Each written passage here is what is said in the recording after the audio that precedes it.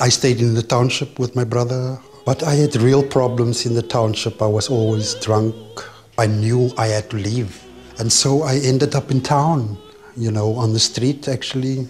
And the first two weeks, I stayed on the street in Cape Town and I was a little bit afraid to sleep on the street. And, and so later, when I really became tired and I wanted to sleep, I made a walk towards the mountain.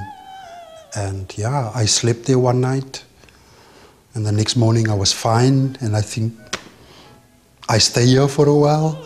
And you know, I stayed in the mountain for five years then.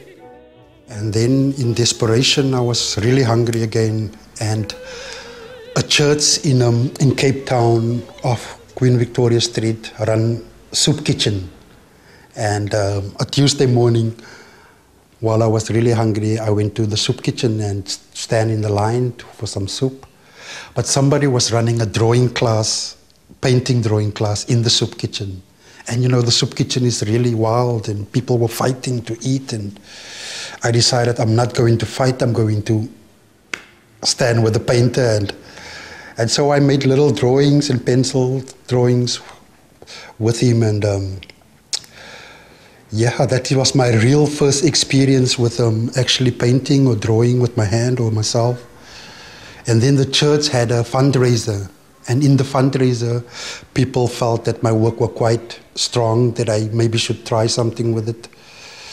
And two weeks later, I was on an international workshop.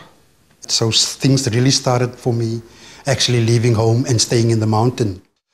I very much paint, and um, in the last seven years, I've been traveling to and fro Germany. And somehow the blocks has has become a concreteness also in my um, everyday creativeness, you know, because with the block you can do exactly what you want. If they are not liked, they are back with you. But somehow my blocks never ends up being back with me. They somehow they, they, they move fast. And so the creative block has helped me often to um, to find things in my work. You know, I relate things. I paint on a small scale and then all of a sudden I have my own work and then I, I always work in between things. So I take things from the creative block to my work and back. So I can always have a rhythm that the creative block is not like I do it for somebody. It's still my work. And I want to keep it, that relationship between work, that I would do it in this way. And so, yeah, I think, yeah, I would like to, to stay a little bit longer with this.